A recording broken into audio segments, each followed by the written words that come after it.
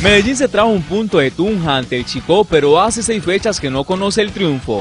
Yo creo que positivo, positivo por el resultado. El equipo Escarlata, quien lideró la tabla de posiciones en las primeras fechas, luego de su empate ante el Chico lo deja en la casilla 11 con 13 unidades y a un punto del octavo Huila, mientras que el cuadro ajedrezado continúa en la tercera casilla del campeonato. Creo que tenemos los mismos puntos que el primero, que es Nacional. Vamos a seguir guerreando. Ubicarse entre los ocho es la meta del equipo rojo cuando visita el Envigado el próximo sábado a partir de las 3 y 30 de la tarde por la fecha 11, que se reanuda luego de las eliminatorias del Mundial de Brasil 2014.